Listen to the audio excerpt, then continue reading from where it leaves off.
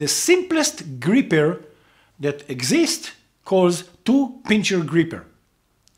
In the picture on the right, we see an example, uh, actual practical example, but let's look at uh, the structure of it.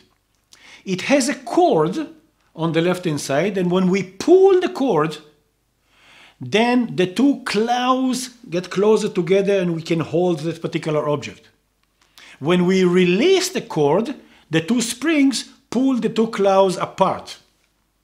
There is a frame, there is a hinges, so opening, uh, um, pulling and, and uh, pulling and releasing the cord will open and close the uh, claws. The opening of the cord can be either di digitally controlled, meaning open or release, or can be analog type of operation using a motor. As the motor rotates, the cord being pulled. The cord being pulled, the clothes get closer.